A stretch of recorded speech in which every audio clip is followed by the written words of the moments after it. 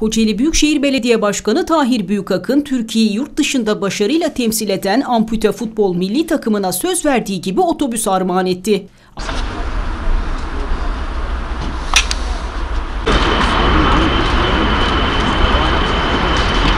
Ampute milli takımına tahsis edilen 2021 model otobüs Kocaeli Büyükşehir Belediyesi önünde törenle Türkiye Bedensel Engelliler Federasyonu'na ve ampute futbol milli takımına teslim edildi. Başkan Büyükakın otobüsün anahtarını teknik direktör Osman Çakmak'a takdim etti.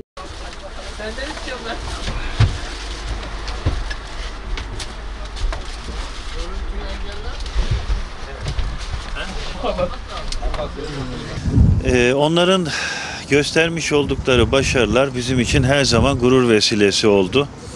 Ee, bundan sonra da bize yeni gururlar yaşatacaklarına hem Ay Yıldızı bayrağımızı hem de İstiklal Marşımızı e, dünyaya duyuracaklarına, yeni yeni başarılar kazanacaklarına zerre kadar şüphemiz yok. Sonuna kadar da onların arkasındayız. Daha önce Gebze Sporcu Eğitim Merkezi'nin açılış programında e, kendileri iştirak etmişlerdi. Oraya bir zenginlik katmışlardı. Birlikte futbolda oynadık. Orada e, sohbet ederken bir araç ihtiyacı olduğu konusu gündeme geldi. E, biz de emir telakki ederiz dedik. E, onların bu başarılarına, onları ilkleri bizleri yaşatmasına biz de ilklerle karşılık verelim dedik. E, anaların ak sütü gibi helaldir.